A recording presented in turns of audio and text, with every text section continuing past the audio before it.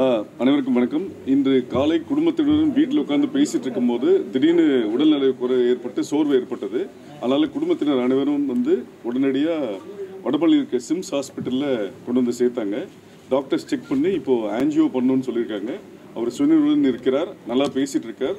விரைவில் வந்து angio treatment முடிச்சு விரைவில் வந்து மீடியாக்களை சந்திக்கிறதா சொல்லியிருக்காரு. அவங்க குடும்பத்தினர் இது உங்ககிட்ட சொல்ல சொன்னாங்க. ஆ சாரி ஒன் மோர்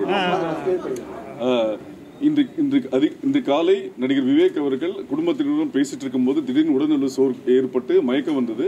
ஸோ அவங்க குடும்பத்தினர் அவர் விவேக் சாரை வந்து உடனே கொண்டு வந்து அவர் ஒய்ஃபு பொண்ணுங்க எல்லாமே சேர்த்து கொண்டு வடபழனி சிம்ஸ் ஹாஸ்பிட்டல் அட்மிட் பண்ணாங்க. டாக்டர் பரிசோதனை பண்ணதில் ஆன்ஜியோ பண்ணணுன்னாங்க எம்ஆர்ஐ ஸ்கேன் முடிச்சு இப்போ ஆன்ஜியோ முடிச்சு நல்லா இருக்காரு. சுயனுடன் இருக்கிறார். நல்லா பேசிட்டு இருக்கார். விரைவில் குணமடைந்து மீடியாக்களை சந்திப்பதாக அவங்க குடும்பத்தினர் தகவல் சொன்னாங்க. நன்றி. தடுப்பூசி போட்டதுனால தான் அவருக்கு ப்ராப்ளம் வந்துச்சு அப்படின்ற மாதிரி சொல்லிடுறாரு இல்ல அது மாதிரி ஒன்றும் உண்மை இல்லை. நேற்று எல்லாமே நல்லா தான் இருந்தார் ஃபுல்